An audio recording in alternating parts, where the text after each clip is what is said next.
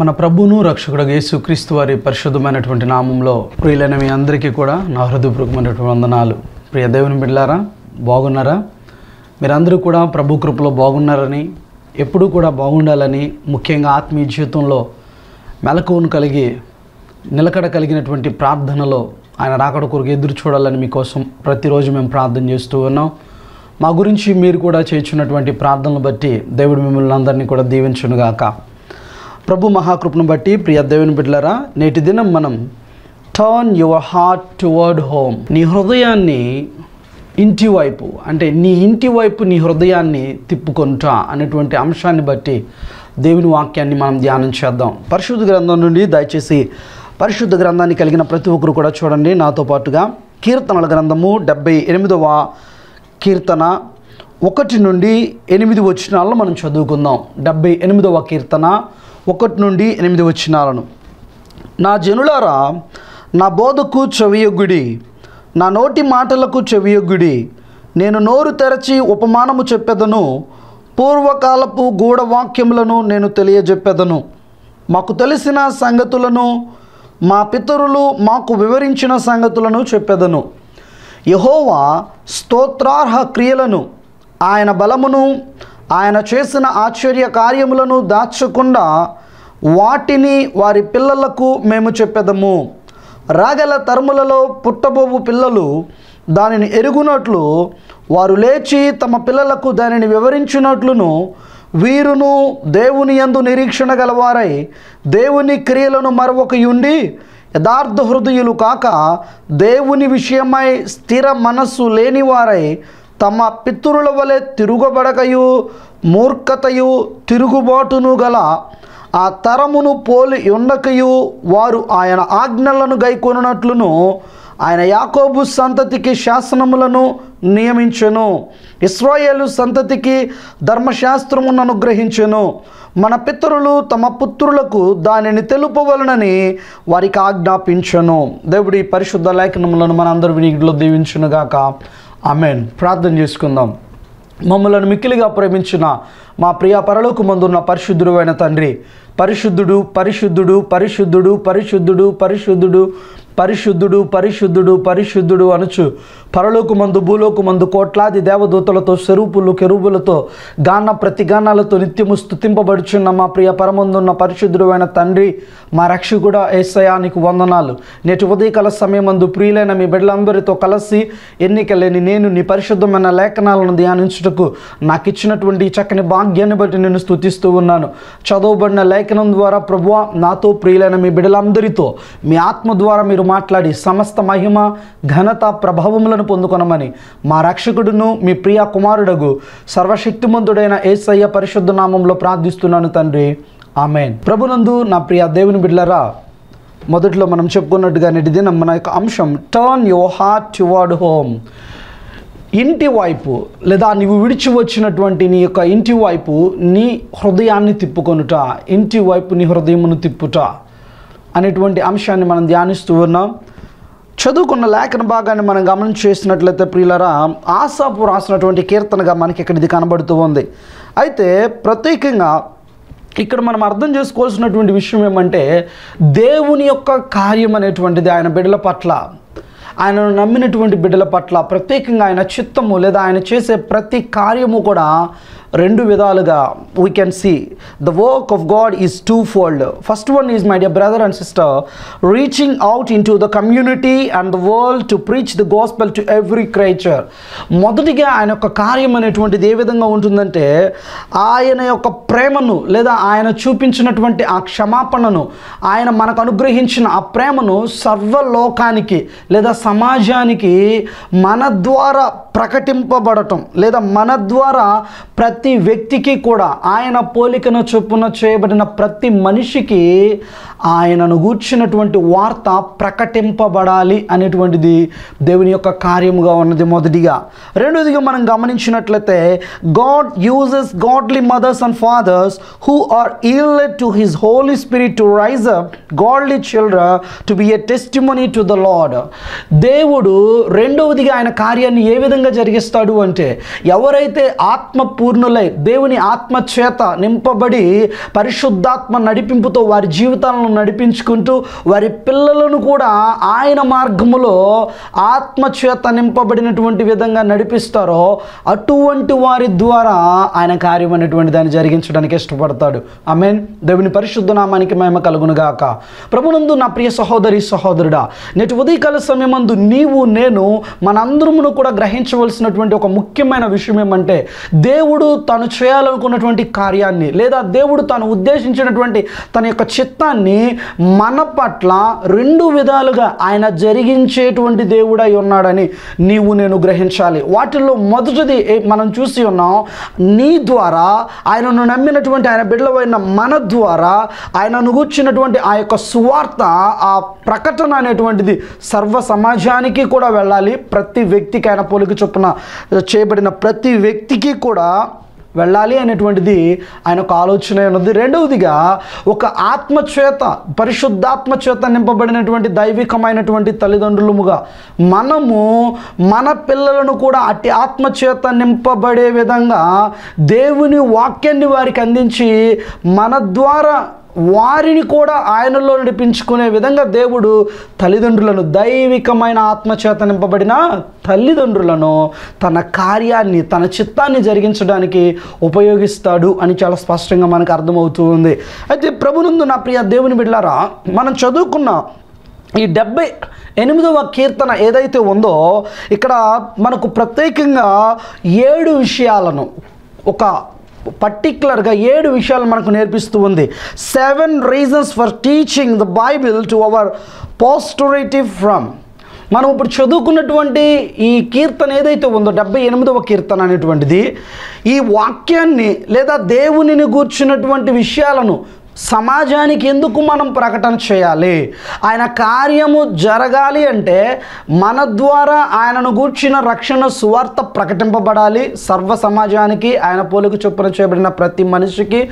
రెండవదిగా ఆత్మచేత నింపబడినటువంటి దేవుని బిడలైన తల్లిదండ్రుల ద్వారా వారి బిడల పట్ల లేదా అందరి పట్ల దేవుడు తన కార్యాన్ని జరిగిస్తాడు. అది ఎలా? How it is possible how it will happen అది ఎలా జరుగుతుంది? అది ఎలా సాధ్యము అంటే there is no doubt at all only one thing that we can say that by teaching God's word దేవుని వాక్యాన్ని ప్రకటించుట అంటే బోధించుట తప్ప మరొక మార్గం అనేటువంటిది లేదండి.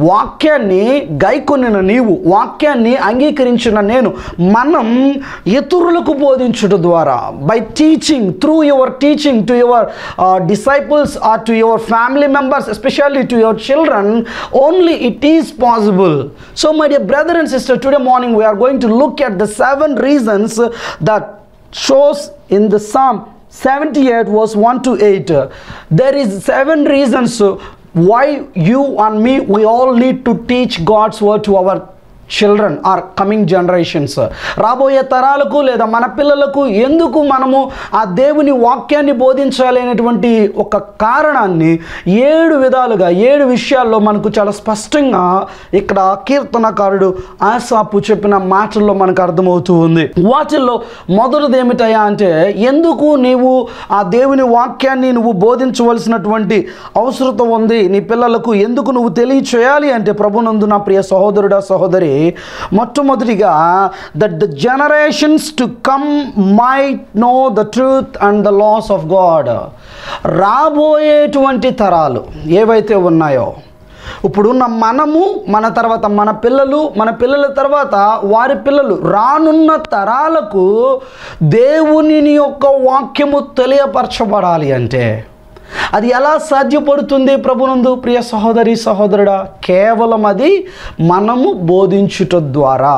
First thing why we need to teach the Bible to our children means in order to make them to know the generation those are coming for them to know we need to teach the God's word to them రానున్నటువంటి మన పిల్లలు లేదా తరాలు దేవుని వాక్యాన్ని గుర్చినటువంటి అవగాహన వారు కలిగి ఉండాలంటే ఒక దైవికమైన తల్లిదండ్రిగా ఆత్మచేత నింపబడిన ఒక క్రైస్తవుడిగా నీవు నేను మనము దేవుని వాక్యమును రాబోయే తరాలకు తెలియచేయటకు గాను మనం బోధించాలి. The first thing second one why second reason why you or me we need to teach the God's word or the Bible to our children the second reason is pass the truth on to others సత్యాన్ని నీవు ఎరిగిన సత్యాన్ని నేను ఎరిగినటువంటి ఆ సత్యాన్ని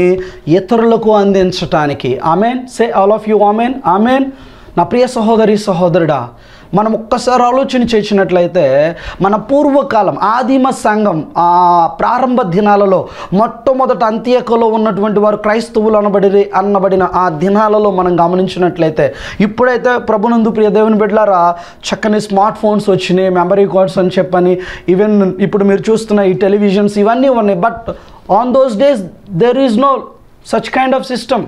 ఈ విధమైనటువంటి సిస్టమ్ అనేటువంటిది ఆ దినాలలో లేదు. వారు అంత డెవలప్ అవ్వాల. మరి ఎలా ఈ వాక్యాలు ఆనాటి నుండి నేటి వరకు కూడా మనకు తెలియపరచబడ్డాయి? ఈ వాక్యాలు ఒకటే. వారు చేసిన మొట్టమొదటి పని ఏమిటయ్యా అంటే రాబోతున్నటువంటి వారి పిల్లలకు తరానికి వారు ఏం చేశారంటే బోధించారు.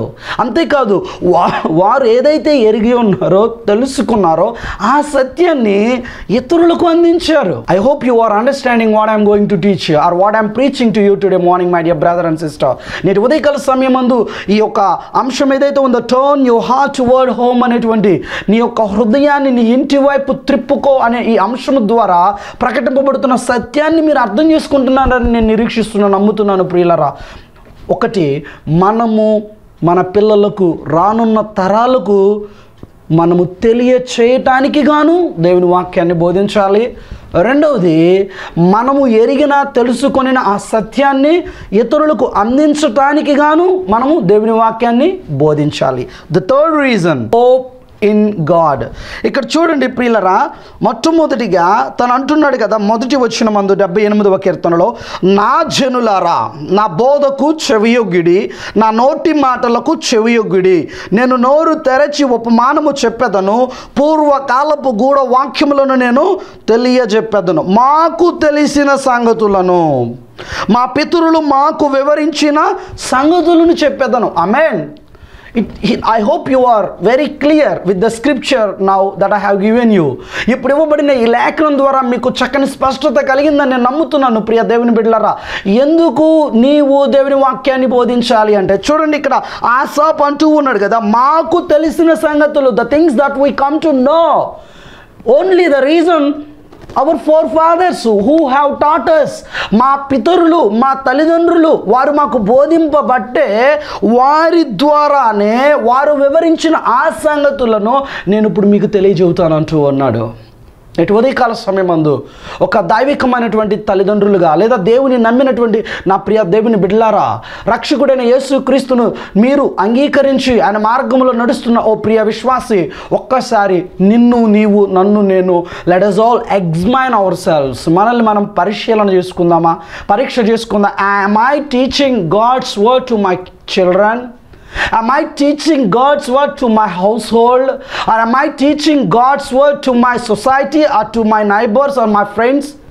నా బంధువులకు లేదా స్నేహితులకు నా ఇరుగు పొరుగు వారికి లేదా నా కుటుంబం మందు ఉన్నటువంటి నా బిడలకు నేను ఆ దేవుని వాక్యాన్ని బోధించే వ్యక్తిగా ఆ సంగతులను వివరించే వ్యక్తిగా నేనున్నానా లేనా ఒక్కసారి ప్రభునందు నా ప్రియ సహోదరి సహోదరుడా నిన్ను నీవు నన్ను నేను మనల్ని మనం పరిశీలన చేసుకోవాల్సిన సమయం ఇదే. నేటి ఉదయకాల సమయం అందు పరిశుద్ధాత్మ దేవుడు నీతో స్పష్టంగా మాట్లాడుతూ ఉన్న విషయం ఏమంటే ఆసాపు కీర్తన ద్వారా డెబ్బై ఎనిమిదవ కీర్తనలో వారు అంటూ ఉన్నారు మాకు తెలిసిన సంగతులు మా పితరులు మాకు వివరించిన సంగతులు. అమెన్ నీవు బోధించకపోతే నీ పిల్లలకు నీ దేవుని నీ రక్షకుడైన క్రీస్తును గుర్చి how it is possible how they will know if you will not teach to them నీవు వారికి బోధించినట్లయితే వారు ఎలా తెలుసుకుంటారు? వారికి ఎలా అర్థమైద్ది? అందుకని ప్రభునందు నా ప్రియ దేవుని జనాంగం నేటి ఉదయకాలం మందు మనందరమును కూడా తీసుకోవాల్సినటువంటి మొదటి నిర్ణయం ఏమంటే మనం అర్థం చేసుకోవాల్సిన ముఖ్యమైన సంగతి ఏమిటయా అంటే నీ హృదయము ఇంటి వైపు అంటే పరలోకం అనేటువంటిది మన- మన పట్టణము లేదా శాశ్వతమైనటువంటి మన ఇల్లు ఇప్పుడు ఉంటున్న ఇల్లు ఏదైతే ఉందో it is like a rent home ఇది అద్దెకుంటున్న ఇల్లు లాంటిదండి. ఇది అద్దిల్లు అన్నమాట. అద్దింట్లో ఉంటున్నప్పుడు నువ్వు ఇంటి ఓనర్తో ఇల్లు నాదంటే ఒప్పుకుంటాడా? నిన్ను ఉండనిస్తాడా? అతనికి నచ్చినంత వరకు ఉండనిస్తాడు? అతనికి ఏదైనా అవసరం అయితే ఒకే చేయమంటాడు కదండి? అంతే కదా? అలాగే ప్రభునుందు నా ప్రియ దేవుని బిడ్డలారా చక్కని పాటలు మనం వింటూ ఉంటాం. పరదేశులమో ప్రియులారా మన పురం ఇది కాదు ఇప్పుడు నిజముగా పురం ఇది కాదు ఇప్పుడు బట్ కానీ ఏం చేస్తున్నాం పాడతకి పాడుతున్నావు. మనది పరాయి దేశం ఇది పురం మనది కాదు అంటున్నావు. బట్ కానీ ఎకరాల పొలాల కోసం స్థలాల కోసం ఫ్లాట్ల కోసం లేదా అపార్ట్మెంట్ల కోసం పెద్ద పెద్ద కార్ల కోసం ఒక మంచి జ్యువెలరీస్ ఏవో విలువైనటువంటి వజ్రాల కోసం నిద్రహారాలు మాని మరి దేవుణ్ణి విడిచిపెట్టి మరి ఆయన సన్నిధిని విడిచిపెట్టి మరి పరుగులు ఎడతాను డబ్బు వెనక. ప్రభునందు నా ప్రియ దేవుని బిడ్డారా నేటి ఉదయకాల సమయం మందు ఒక్కసారి నువ్వు వెళుతున్న ఆ ప్రయాణం మందు ఒక్కసారి ఆగి ఆలోచించు. నీ హృదయం నీ ఇంటి వైపు నీ తండ్రి ఇంటి నుండి తప్పిపోయిన కుమారుడిలా ఉన్న నీ నా మన హృదయం మరలా తిరిగి ఇంటి వైపు తిరగాల్సిన అవసరం ఎంతో ఉంది. తిరగాలి అంటే ఇంటి వైపు నీ హృదయాన్ని నువ్వు త్రిప్పుకోవాలి అంటే త్రిప్పుకున్నావు అని నీకు ఎప్పుడు అర్థమవుతుందంటే నీవు కలిగిన ఆ దేవుని వాక్యాన్ని నేను కలిగిన ఆ దేవుని సత్యాన్ని మన పిల్లలకు మన తరానికి రాబోతున్న తరానికి తెలియచేయాలి. రెండవది మనం కలిగిన ఆ సత్యాన్ని ప్రభునందు నా ప్రియ దేవుని బిడ్డలరా మనము ఇతరులకు అందించాలి. మూడవదిగా ఇక్కడ చూడండి రెండవదిగా ఆ సత్యాన్ని ఇతరులకు అందించడం అనేటువంటి దాన్ని మనం గమనించినట్లయితే నాలుగో అంటున్నాడు కదా యహోవా స్తోత్రార్హ క్రియలను ఆయన బలమును ఆయన చేసిన ఆశ్చర్య కార్యములను దాచకుండా వాటిని వారి పిల్లలకు మేము చెప్పేదము. అమెన్ దేవునికి స్తోత్రం. అలాగే ఐదో వచనంలో మనం గమనించినట్లయితే రాగల తరములలో పుట్టబోవు పిల్లలు దానిని ఎరుగునట్లును వారు లేచి తమ పిల్లలకు దానిని వివరించునట్లును వీరును దేవుని యందు నిరీక్షణ గలవారై. ఏంటండి? మళ్ళీ చదువుదామా? వీరును దేవుని యందు నిరీక్షణ గలవారే దేవుని క్రియలను మరొకయుండి అమేన్ దేవునికి స్తోత్రం. హలెలూయా ప్రభునందు నా ప్రియ సహోదరి సహోదరుడా మూడవ కారణం ఏమిటయా అంటే why you need to teach the Bible or why we need to teach God's word that only to give them the hope in God దేవుని యందు నిరీక్షణ వారికి అనుగ్రహించటానికి. నేటి ఉదయకాలం మందు ప్రభునందు నా ప్రియ దేవుని బిడ్డలారా ఒక చిన్న ప్రశ్న నేను మిమ్మల్ని అడగాలని ఆశపడుతూ ఉన్నాను. అదేమంటే క్రైస్తవుడికి ఏసయ్యను నమ్ముకున్న వ్యక్తికి లోకమునందున్న వ్యక్తికి డిఫరెన్స్ ఏంటండి? ఏంటి? ఒకసారి ఆలోచించండి. వాడికి లేనిది లోకమందున్న అన్యుడికి లేనిది క్రీస్తును కలిగిన వ్యక్తికి ఉంది ఏమిటయ్యా అంటే నిరీక్షణ.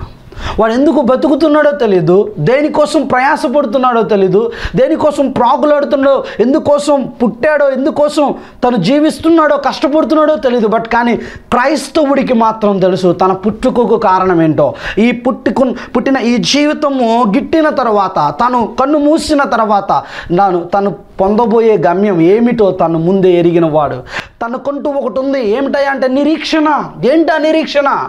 నిన్ను నన్ను సిగ్గుపరచని నిరీక్షణ అది. నా రక్షకుడు నా నిజమైన దేవుడు నా కోసం శరీరధారిగా రెండు వేల ఇరవై రెండు సంవత్సరాలకు పూర్వం ఈ భూమి మీదకి వచ్చాడు. ముప్పై మూడున్నర సంవత్సరాలు ఆయన నా వలె రక్త మాంసాలను కలిగి జీవించాడు. పరిశుద్ధుడిగా యథార్థతతో బ్రతికిన ఆయన నాకు మాదిరికరమైన జీవితాన్ని చూపించాడు. ఎవ్వరు కూడా జయించలేని మరణాన్ని చనిపోయి సమాధి చేయబడి మూడవ దినాన సమాధి నుండి మృత్యుంజయుడే తిరిగి లేచి నాకు వాగ్దానం చేశాడు నా ఏసయ్య. ఇప్పుడు ఎలాగైతే నేను ఆరోహణమై వెళ్తున్నానో అదేవిధంగా మరలా నేను మేఘారూఢున్నై రెండవ రాకళ్ళు మీ వద్దకు రాబోతున్నాను. నన్ను నమ్మిన బిడ్డలను నా పరిశుద్ధమైన నామమునందు విశ్వాసం ఉంచిన బిడ్డలను నా రక్తములో పాపానికి క్షమాపణ ఉందని నా నామములో ఆత్మకు నిత్య జీవం ఉందని నమ్మి విశ్వసించి బాప్త్యస్మం పొందిన బిడలను నా మార్గములో పరిశుద్ధత కలిగి నడిచిన బిడలను మెలకువ కలిగి ప్రార్థనతో ఉన్న బిడలను నా రెండవ రాకడలో నాతో ఎత్తుకుని వారిని.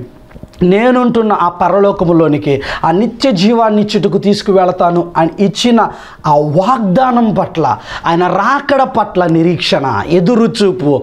ప్రభునందు నా ప్రియ దేవుని బిడ్డలారా ప్రభునందు నా ప్రియ సహోదరుడా సహోదరి నా ప్రియ తల్లిదండ్రులారా ఒక్కసారి అమ్మా మనం ఆలోచన చేద్దామా? నేటి ఉదయకాల సమయమందు మనము పిల్లలకు వేటి మీద ఆశను పుట్టిస్తున్నాం. వేటి మీద ఆశను పుట్టిస్తూ ఉన్నాం. నాకు బాగా గుర్తండి సెవెంత్ క్లాస్ చదివేటప్పుడు ఫిఫ్త్ చదువుతున్నప్పుడు మా అమ్మ అంది నాతోటి సెవెంత్ క్లాస్ అయితే నీకు సైకిల్ కొంటాను అందని ఎప్పుడు సెవెంత్ అయిపోద్దా సైకిల్ కొంటాను సెవెంత్కి వచ్చిన తర్వాత అమ్మంది టెన్త్ క్లాస్ అయినాక సైకిల్ కొంటాను.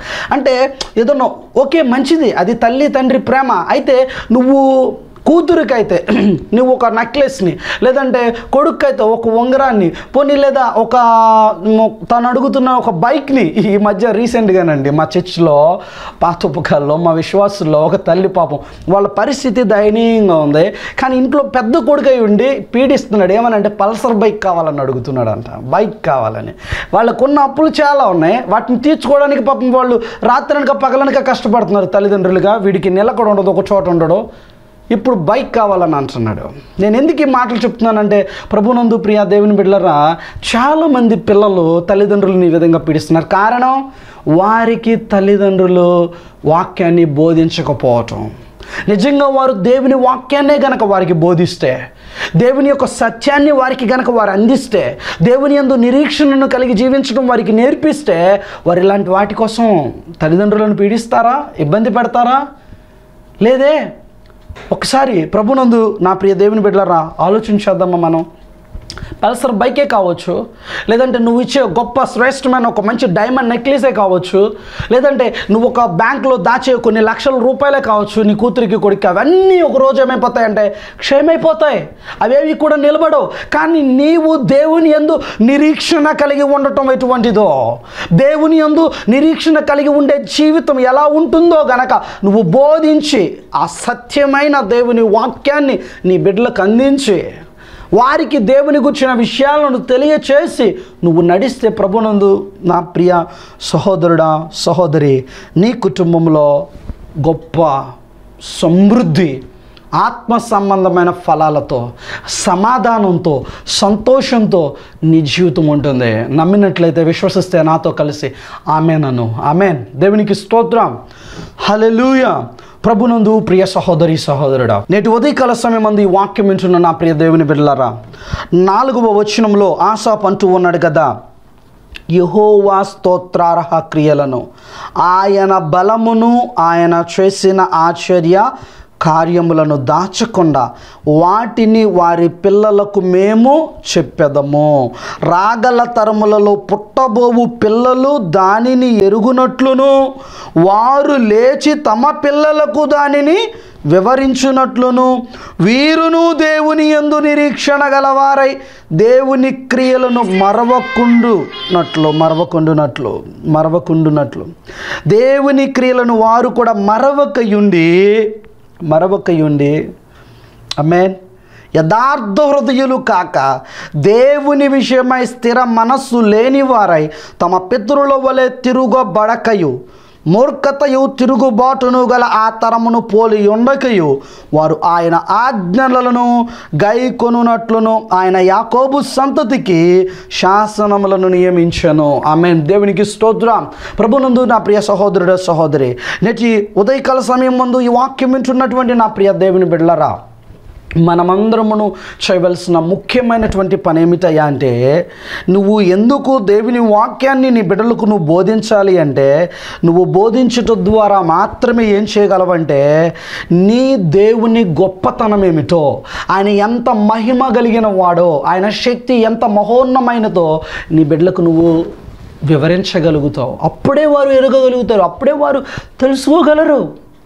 తల్లి తండ్రిగా ప్రభునందు ప్రియా దేవుని బిడ్డలరా నేటి ఉదయకాల సమయమందు ఒక్కసారి మన జీవితాలని మనం పరీక్ష చేసుకుందాం పరిశీలించుకుందాం. మనం వేటిని నేర్పిస్తున్నాం మన పిల్లలకి? వేటి మీద వాళ్ళకి ఆశను పుట్టిస్తున్నాం. మనమిచ్చే ఆ ఆశ పుట్టించే విషయాలు ఆత్మ సంబంధమైనవా లోక సంబంధమైనవా క్షయమైపోయావా అక్షయమైనవా? ఒకవేళ గనక నా ప్రియ తల్లిదండ్రులారా నేటి ఉదయకాల సమయమందు ఈ వాక్యం వింటున్న నా ప్రియ సహోదరుడా సహోదరి ఈ వాక్యము విన్న తర్వాత దేవుడు నిన్ను గద్దిస్తుంటే నేను ఇప్పటి వరకు నా పిల్లలకు ఆత్మ సంబంధంగా దేవుని వాక్యాన్ని బోధించటం కానీ ఆత్మ సంబంధమైన విషయాల మీద ఆసక్తిని ఆశను కలిగి ఉండటం కానీ నేను నా పిల్లలకు నేర్పించలేదు. సరి చేసుకో అని గనక దేవుడు నిన్ను దేవుడు నిన్ను గద్దిస్తుంటే దయచేసి లోబడు. లోబడ్డావా? దీవింపబడతావు. దేవుడు ఈ పరిశుద్ధమైన మాటలను మనందరి వినిగిడినందు దీవించునుగాక. ప్రభు చిత్తమైతే ప్రభునందు ప్రియ దేవుని బిడ్డలరా రానున్న దినాలలో మనం ఈ అంశాన్ని కంటిన్యూషన్ చేద్దాం. మరొకసారి నేను మీకు జ్ఞాపకం చేస్తూ ఉన్నాను. Turn your heart word home నీ ఇంటి వైపు నీ హృదయాన్ని త్రిప్పుకోవాలి. మన ఇల్లు ఇది కాదు. మనం ఉంటున్న ఈ దేశం ఈ ప్రాంతం మనం ఉంటున్న ఇల్లు అంటే నువ్వు కట్టుకున్న లేదా నువ్వు అద్దెకుంటున్న ఇల్లు కాదు. నీ ఇంటి వైపు నీ హృదయాన్ని తిప్పుకోమంటుంది. నీ తండ్రి నీ రక్షకుడు నీ సృష్టికర్త అయిన ఏసయ్య ఉంటున్న పరలోక పట్టణం వైపు.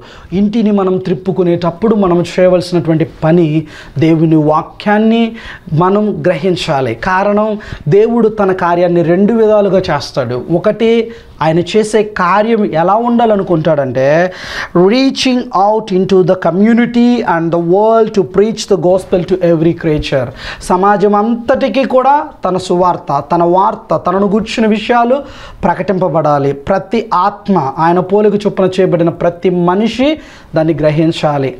ఆ విధంగా ఆయన కార్యం ఉంటుంది. రెండవది ఆయన God uses godly mothers and fathers who are yielded to His Holy Spirit to raise up godly children to be a testimony to the Lord. దేవుని కొరకు సాక్షులుగా ఉండటానికి వారి పిల్లలను ఆత్మచేత నింపబడి నడిచే విధంగా దేవునిలో నడిపించుకునే తల్లిదండ్రుల ద్వారా దేవుడు తన కార్యాన్ని జరిగిస్తాడు ఈ రెండూ జరగాలంటే ఏడు కారణాలు ఉన్నాయి ఆయన వాక్యాన్ని మనం పిల్లలకు బోధించటానికి. అంటూ ప్రభు మహాకృపలో ఇప్పటి వరకు మనం మూడు విషయాలు చూసాం.